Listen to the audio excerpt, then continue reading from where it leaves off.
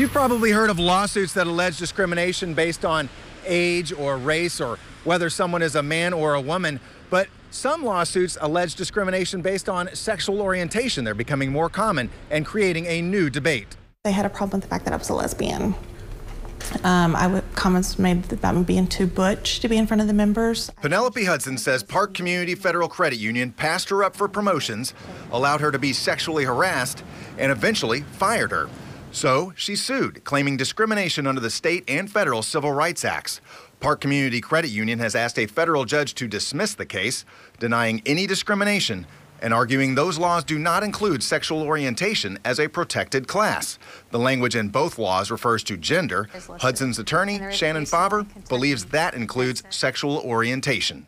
Well, as of right now, it is not specifically listed, but gender is listed.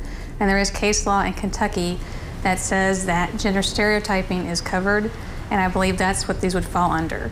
Fauver has been on similar ground before, representing a gay couple who won the right to marry in a case before the U.S. Supreme Court. They should pay attention. U of L law professor Sam Marcosson says higher courts have been split on workplace discrimination based on sexual orientation.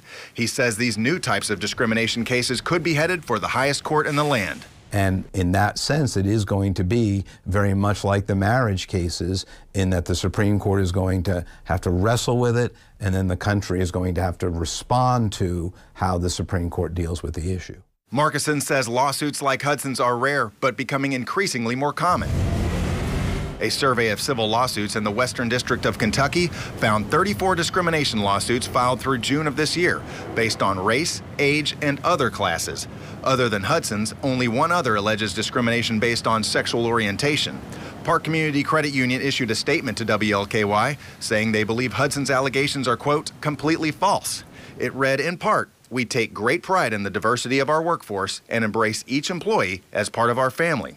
Hudson, who is asking for unspecified damages, stands by her claims. When I first came and saw Shannon, she said, Well, what do you want? And I said, For them to know it's not okay. It's not okay to treat me this way. It's not okay to treat any LGBT person this way.